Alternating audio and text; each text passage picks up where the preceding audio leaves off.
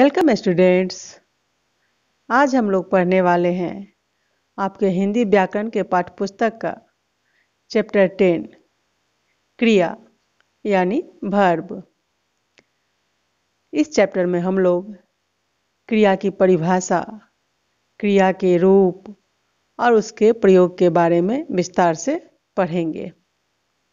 तो आइए शुरू करते हैं आज का यह महत्वपूर्ण पाठ। पढ़ना, लिखना खाना, पीना, सूर्य का उगना, फूल का खिलना, करना, होना, जो बतलाता, शब्द वही क्रिया कहलाता। जैसा कि आप जानते हैं कि इस पाठ में हम लोग क्रिया से रिलेटेड सभी बातों को विस्तार पूर्वक पढ़ेंगे।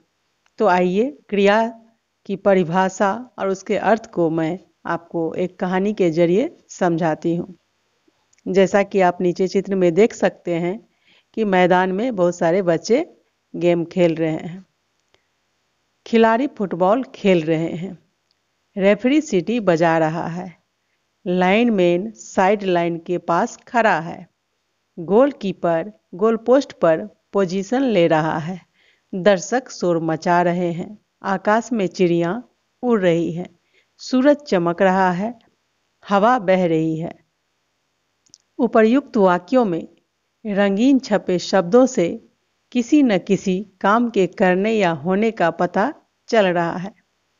ऐसे शब्दों को क्रिया कहा जाता है। तो इस प्रकार इस कहानी में हमने जितने भी रंगीन शब्द पढ़े, उन सभी में किसी न किसी कार्य का होना बता, बताया जा रहा है।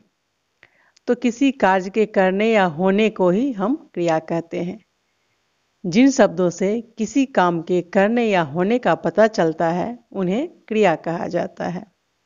जैसे कि बच्चे मैदान में फुटबॉल खेल रहे हैं। ये भी जाने। इस चैप्टर से रिलेटेड ये इम्पोर्टेंट बातें हैं। इसे जानना भी ज़रूरी है।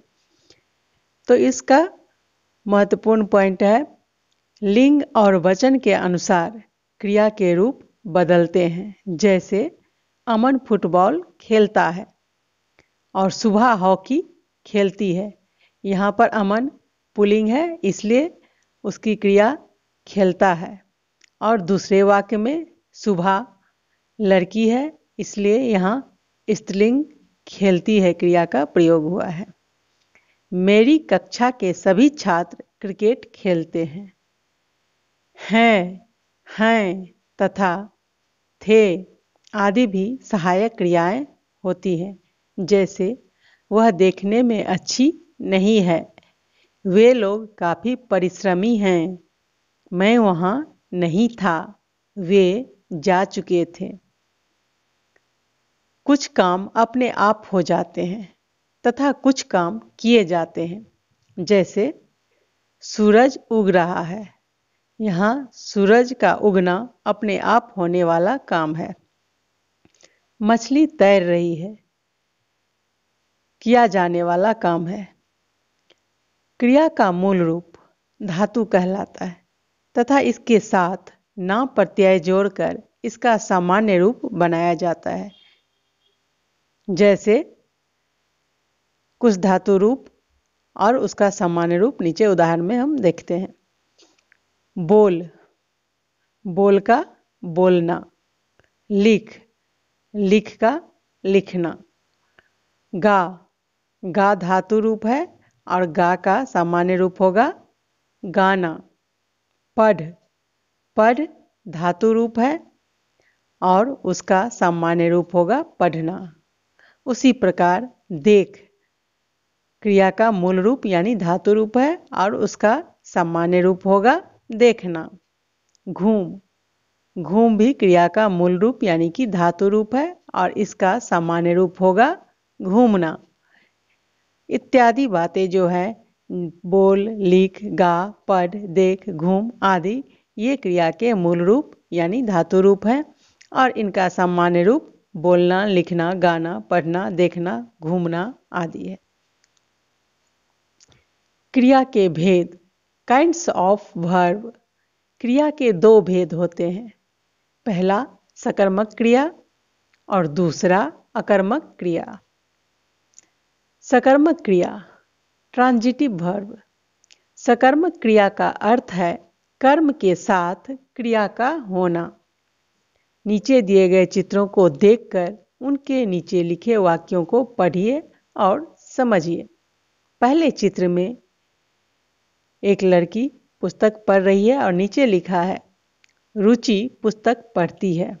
दूसरे चित्र में बंदर केला खा रहा है और नीचे लिखा है, बंदर केला खाता है।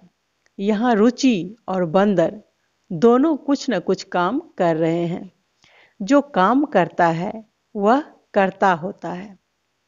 और कर्ता द्वारा जो काम किया जाता है, वह कर्म कहलाता है।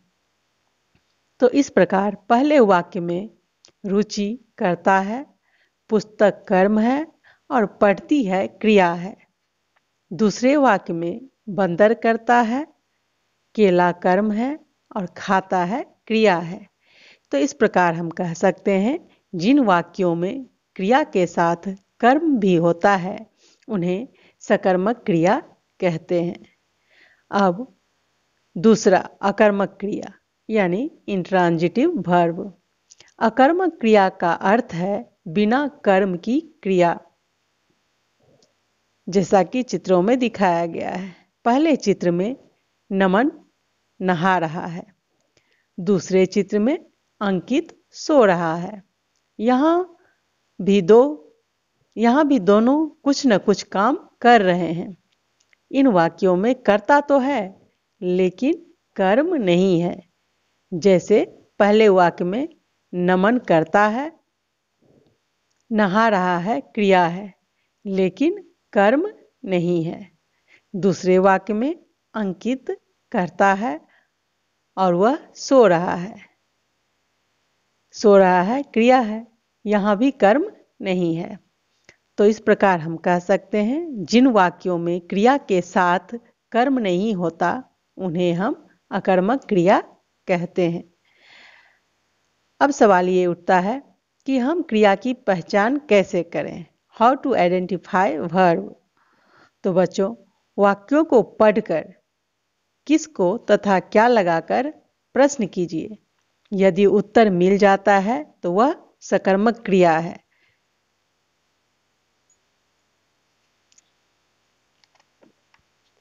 जैसे हम लोग कुछ उदाहरणों के द्वारा इसको समझते हैं। जैसे दादाजी कहानी सुनाते हैं। प्रश्न, दादाजी क्या सुनाते हैं? तो उत्तर मिलता है, दादाजी, कहानी सुनाते हैं। शिक्षक बच्चों को पढ़ाते हैं। अब प्रश्न उठता है कि शिक्षक किसको पढ़ाते हैं? तो उत्तर मिलता है, शिक्षक बच्चों को पढ़ाते हैं। तो इस प्रकार हम देखते हैं कि इन वाक्यों में प्रश्न करने पर उत्तर मिलता है। यदि वाक्यों में इन वाक्यों में प्रश्न करने पर उत्तर मिलता है। तो इसका अर्थ ये सकर्मक क्रिया है। यदि वाक्यों में किसको तथा क्या लगाकर किए गए प्रश्न का उत्तर न मिले, परंतु कौन लगाकर प्रश्न करने से उत्तर मिल जाए तो उस वाक्य की क्रिया अकर्मक क्रिया होती है। जैसे, श्यामा सो रही है। यदि हम इसका प्रश्न करते हैं, श्यामा क्या सो रही है? तो क्या उत्तर मिलता है? नहीं मिलता है उत्तर। और यदि हम प्रश्न करते हैं कि कौन सो रही है तो इसका उत्तर हमें मिलता है। कौन सो रही है? तो श्यामा सो रही है। तो इसलिए जिस वाक्य में क्या और किसको लगाकर उत्तर न मिले, वो अकर्मक क्रिया है। और कौन लगाकर उत्तर मिले तो भी वो अकर्मक क्रिया है। और जिस वाक्य में क्या और किसको लगाकर प्रश्न करने पर उत्तर मिल जाए वह सकर्मक क्रिया है। तो इस प्रकार इस चैप्टर में हम लोगों ने सीखा कि किसी काम का करना या होना क्रिया कहलाता है। क्रिया दो प्रकार की होती है। पहला सकर्मक क्रिया और दूसरा, अकर्मक क्रिया। जब क्रिया के साथ कर्म हो तो क्रिया सकर्मक होती है। जब क्रिया के साथ कर्म न हो तो क्रिया अकर्मक होती है। तो इस प्रकार इस चैप्टर में हम लोगों ने क्रिया से संबंधित बहुत सारी बातों को जाना। तो आइए अब हम लोग अभ्यास प्रश्न करते हैं। पहला प्रश्न, निम्नलिखित प्रश्नों के उत्तर दीजिए। क्रिया की परिभाषा लिखिए। किसी काम का करना या होना क्रिया कहलाता है, जैसे रमा पुस्तक पढ़ रही है। नमन फुटबॉल खेल रहा है, इत्यादि। ख, क्रिया के कितने भेद हैं, उनके नाम लिखिए। क्रिया के मेनली क्रिया के मुख्य तौर पे दो भेद हैं, सकर्मक क्रिया और अकर्मक क्रिया। ग, सकर्मक तथा अकर्मक क्रिया की परिभाषा दीजिए। सकर्मक क्रिया जब क्रिया के साथ कर्म हो तो क्रिया सकर्मक होती है। जैसे बंदर केला खाता है, रुचि पुस्तक पढ़ती है, अकर्मक क्रिया। अकर्मक क्रिया उसे कहते हैं जिस क्रिया में कर्ता के साथ कर्म नहीं होता। अकर्मक क्रिया उसे कहते हैं जिस क्रिया में कर्ता के साथ कर्म नहीं होता। जैसे अंकित सो रहा है, इत्यादि। प्रश्न दो, सही उत्तर पर सही का निशान लगाइए। क, निशा ने गीत गाया। इस वाक्य में क्रिया है, गाया। अमन ने मिठाई खाई। इस वाक्य में क्रिया है, सकर्मक। ग, क्रिया के कितने भेद होते हैं? क्रिया के दो भेद होते हैं। निम्न में से अकर्मक क्रिया कौन है? रोना और हंसना, दोनों अकर्मक क्रिया है।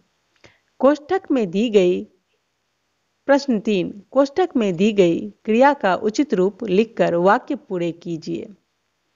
राहुल आम खाता है। हम कान से सुनते हैं।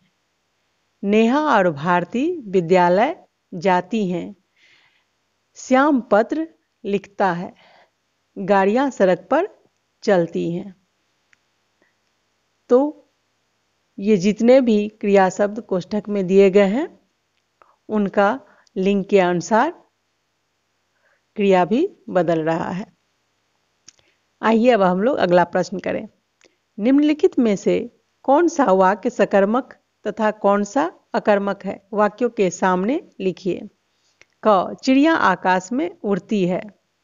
तो इस वाक्य में हम लोग कैसे पहचानेंगे कि सकर्मक क्रिया है या अकर्मक तो इसके लिए हम लोग क्या और किसका लगाकर क्वेश्चन करते हैं, किसको लगाकर क्वेश्चन करते हैं। तो इसमें हम जब प्रश्न करेंगे कि चिड़िया कहाँ उड़ती है तो चिड़िया आकाश में उड़ती है। इसका उत्तर हमें मिलता है, अर्थात यह सकर्मक क्रिया है। तानिया स्कूल गई है। जब यहाँ हम प्रश्न करते हैं कि तानिया कहाँ गई है तो हमें उत्तर मिलता है, तानिया स्कूल गई है। तो इसलिए ये भी सकर्मक क्रिया है। गौ, पिताजी खाना खा रहे हैं। तो इसमें हम जब प्रश्न करते हैं, पिताजी क्या खा रहे हैं तो हमें उत्तर मिलता है, पिताजी खाना खा रहे हैं। तो यह भी सकर्मक क्रिया है। घ, अंकित क्रिकेट खेलता है।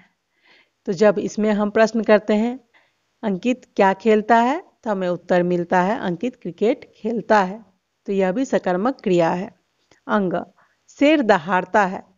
इसमें जब हम क्वेश्चन करते हैं, इसमें जब हम प्रश्न करते हैं तो क्या लगाकर प्रश्न करते हैं तो उत्तर नहीं मिलता है। लेकिन जब कौन लगाकर प्रश्न करते हैं कि कौन दहाड़ता है तो हमें उत्तर मिलता है, शेर दहाड़ता है। इसलिए यह अकर्मक क्रिया है। प्रश्न पाँच, सही के सामने, सही का तथा गलत के सामने गलत का निशान लगाएँ। ख, क्रिया के मूल रूप को धातु कहते हैं। यह सही है। इसलिए इसके सामने हम लोग सही का निशान लगाएँगे। ख, काम करना या होना बताने वाले शब्द क्रिया कहलाते हैं। यह भी सही है। ग, कर्म के साथ रहने वाली क्रिया अकर्मक क्रिया होती है। यह गलत है। कर्म के साथ रहने वाली क्रिया सकर्मक क्रिया होती है। न कि अकर्मक। छींकना एक सकर्मक क्रिया है। छींकना एक अकर्मक क्रिया है। मुस्कुराना एक अकर्मक क्रिया है। मुस्कुराना एक अकर्मक क्रिया है। यह भी सही है। खेल खेल में दिए गए चित्रों को उचित क्रिया के साथ जोड़िए। किसान पौधे लगा रहा है। तो इसमें पौधे लगा रहा है को किसान से हम जोड़ेंगे। दूसरे चित्र में बंदर उछल रहा है। तीसरे चित्र में घोड़ा दौड़ रहा है। और चौथे चित्र में किसान हल चला रहा है। इस प्रकार इस चैप्टर में हम लोगों ने क्रिया की परिभाषा, क्रिया के रूप, क्रिया के प्रयोग और उससे जुड़ी बहुत सारी जानकारियाँ प्राप्त की। तो उम्मीद है यह वीडियो आपके लिए बहुत ही उपयोगी होने वाली है। अगर आपको यह वीडियो अच्छी लगी है तो फिर इस वीडियो को लाइक कर दें, साथ ही अपने दोस्तों के साथ इसे ज़्यादा से ज़्यादा शेयर करें। और अगर आप इस चैनल पर नए हैं तो इस चैनल को सब्सक्राइब कर लें और बेल आइकन को प्रेस कर दें, ताकि और भी उपयोगी वीडियो जो आपको देखने को मिले। धन्यवाद।